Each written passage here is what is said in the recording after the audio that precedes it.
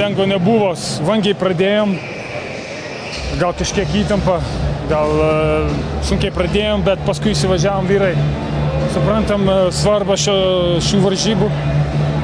Labai džiaugiuosi, kaip visi sukovojo. E,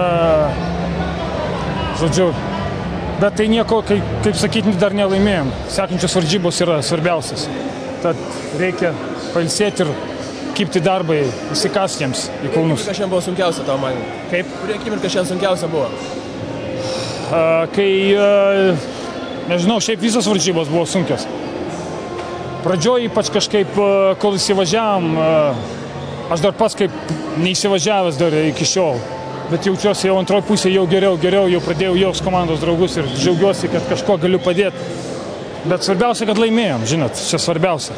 Pabaigoje varžovė vienu tašku persvė rezultatą, kad treneris sakė mūtės per turkėlės metu. Ar nebuvo panikos tame metu? Atsiprašau, negirdėjau. Persvė rezultatą vienu tašku pabaigoje. Kas buvo kalbėta mūtės per turkėlės metu? Nebuvo panikos? Ne, nebuvo panikos. Norėjom a, sudaryti gerą vietą. Turėjom 35 sekundės, beros, norėjom išmest gerą metimą. Ir a, Šarūnas labai gerai sužaidė. Tai mes norėjom sukurti dvi atakas. Dvi atakas. Ir, kaip sakyt, mes užpuolėm ir apsigynėm. Ir tai lėmė varžybų lemti. O kuo paskutinėm minutėm vis dėlto pranašumas, koks buvo Lietuvos patirtis ar, ar kas? Mes visi kartu susikaupę, nežinau, vienas už vieną.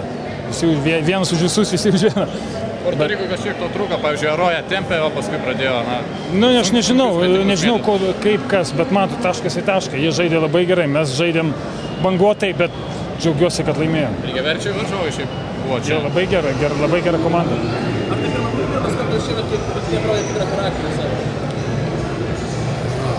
Jo, aš nežinau, matyt, kaip pasakyti, nu, kai sunku, tai kovojam. Vis, mes nebuvo momento, kai neno, nenorėjom parodyti charakterio. Aš negaliu tai pasakyti. Čia vyrai, vyrai kovojo iki iš paskutinių ir su Nigerija. Pažiūrėkit, Nigerija laimėjo prieš uh, Graikiją. Čia, žodžiu, visi moka žaisti krepšinį, visi kovoja, visi skirtingi stiliai. Žodžiu, mes Ar tą charakterį dar mobilizavo tai, kad užvilpė gimną žiūrovai? Jo buvo nemalonu girdėti tokį dalyką, bet, kaip sakyt, Robertas sušuko, kad čia, čia turi mus dar labiau sukaupti. Aš manau, kad galbūt kažkiek ir sukaupė.